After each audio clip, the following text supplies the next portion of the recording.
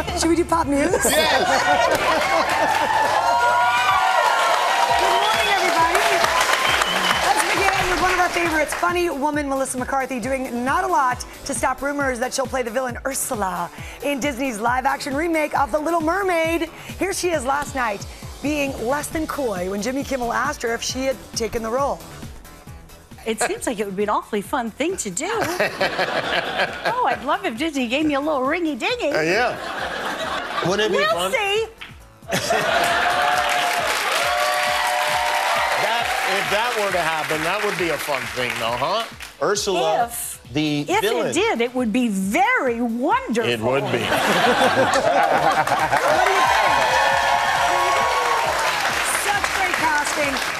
it were to happen, Melissa went on to share that she was nannying for a little girl when the original came out. She watched it every night for a year and a half. She knows the words to her core, which would make it easy for her to slip into Ursula's octopus suit when The Little Mermaid begins production in about six months. We shall see. I like that. Yeah. Also in the news, Elton John celebrating a major milestone this morning, nearly three decades of sobriety. Elton posting this photo. There. Of his Alcoholics Anonymous coin and writing in part, quote, 29 years ago today, I was a broken man. I finally summons up the courage to say three words that would change my life. I need help. Hmm. He goes on to thank all of those who have helped him on his journey, which was well documented in the biopic Rocketman. When asked what was the most valuable skill he's learned from his sobriety, his answer communication, saying if you don't communicate and you don't talk about things, then you're never going to find a solution. Great point. He was so honest and raw. Anxious to share that. Congratulations to you, Elton. Uh, Jenny may be from the block, but that doesn't mean that she knows how to drive around it.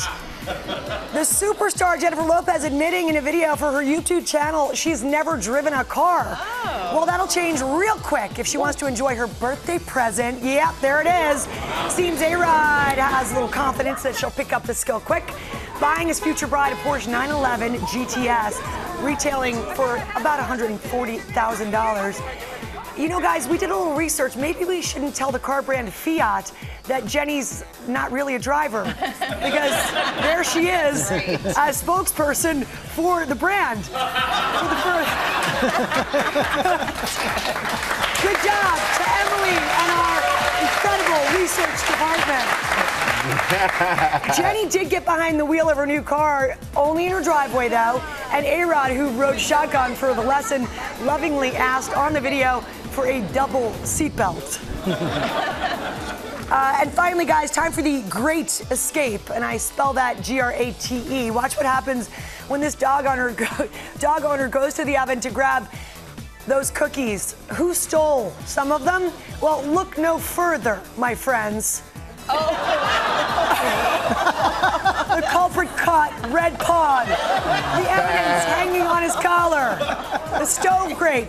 Nothing to see here, Mom, I swear. Just my new dog tag, really. Oh, great. And everybody, that is pop news. Did he stop at one cookie?